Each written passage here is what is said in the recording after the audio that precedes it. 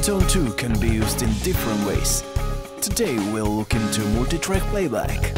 Step by step, here we go! First, export the tracks from your DAW.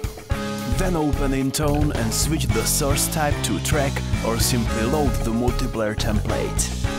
After that, open Track Player's playlist editor and add your track to the playlist. Rename the chain repeat the four previous steps for all chains.